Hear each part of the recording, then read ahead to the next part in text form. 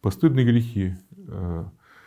Поступил вопрос на канал Изогет о том, что такое постыдные грехи и как быть, когда стыдно говорить о некоторых грехах на исповеди. Но в идеале нам должно быть стыдно за каждый грех. В идеале. Потому что любой грех нас разрушает с Богом, любой грех э, э, мучает совесть, э, вызывает чувство опустошения.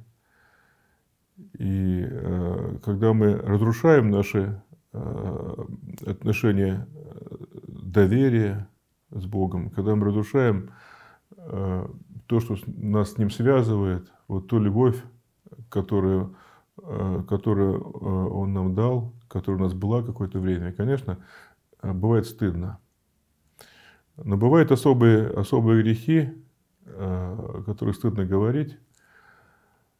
Не все надо рассказывать священнику с какими-то ненужными подробностями, чтобы и самому не смущаться, и священника не смущать.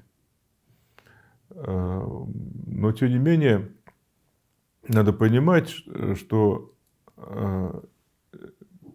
чем искреннее мы будем исповедоваться, чем откровеннее мы будем на исповеди, тем больше пользы мы получим.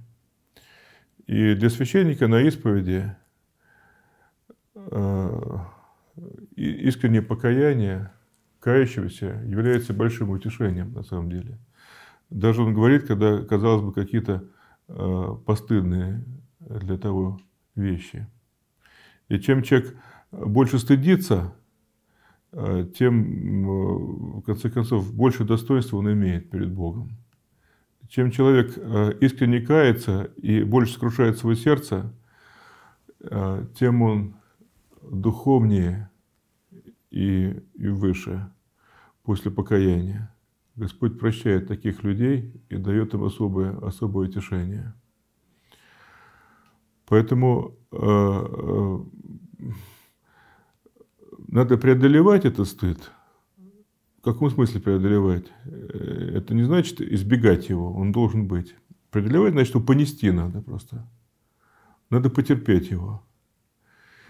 И стыд – это тоже такое состояние души, которое помогает осмыслить грех и помогает отвратиться от греха. Потому что когда человек перенес стыд, ему потом не хочет снова к этому стыду возвращаться. Стыд – это все-таки такая такое душевное потрясение для человека. И это потрясение, память об этом потрясении э, помогает не повторять эти грехи.